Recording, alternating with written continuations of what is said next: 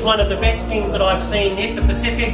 It's innovative, it's creative, it drives and creates industry, and um, it's taking that step that I'm seeing the aid industry and a lot of these groups struggling with at the moment.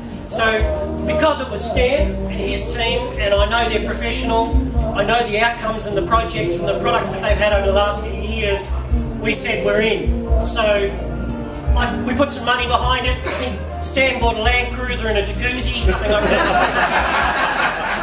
but really, we built a website, and uh, from, from that, these guys drove it, and, and, I stood back and I watched this amazing product happen.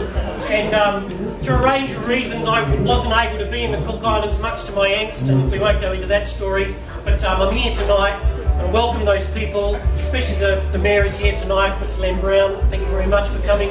And um, enjoy the evening because this is something that will create jobs, put Cook Islands on the on the map, and without stealing your thunder, I've just come from another Cook Islands event, and uh, you know that.